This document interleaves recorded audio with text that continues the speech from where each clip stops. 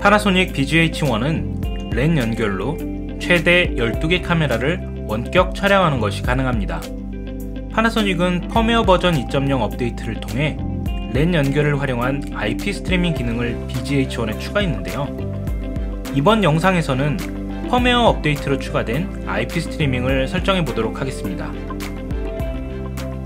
유선랜을 이용한 IP 스트리밍 기능은 최대 4K 60프레임 50Mbps까지 가능합니다. IP 스트리밍을 위해서는 온라인에 연결된 라우터와 PC가 필요합니다. 먼저 BGH1의 랜 포트에 케이블을 연결합니다. 이 케이블을 라우터와 연결합니다. 다음으로 카메라의 메뉴에서 입력 출력 항목에 랜 와이파이를 선택합니다. 다음 랜 와이파이 설정을 선택하고 IP 주소 설정 항목을 DHCP 클라이언트로 설정합니다. 이 항목은 카메라를 연결한 라우터의 IP 주소를 자동으로 인식해서 접속하는 방식입니다.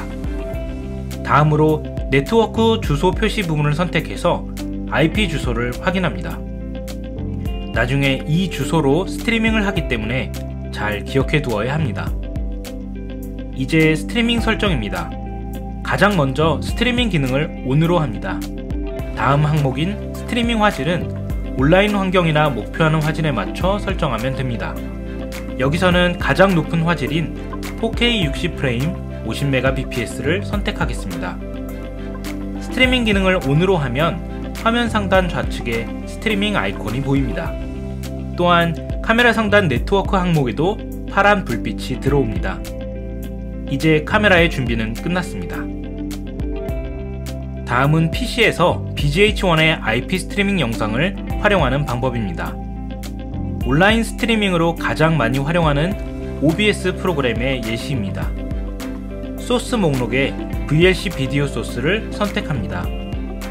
새로운 소스 항목을 만들고 확인을 누릅니다.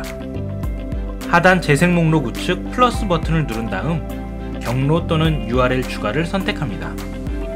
주소창에 RTSP로 시작하는 이전에 카메라에서 확인한 IP 주소 뒤에 stream을 붙인 주소를 작성합니다. 확인 버튼을 누르면 OBS 캔버스에 BGH1의 IP 스트리밍 화면이 나타나는 것을 볼 수 있습니다. 4K 60프레임 50Mbps로 높은 화질을 전송하고 있지만 원활한 속도와 선명한 영상을 보여주는 것을 확인할 수 있습니다.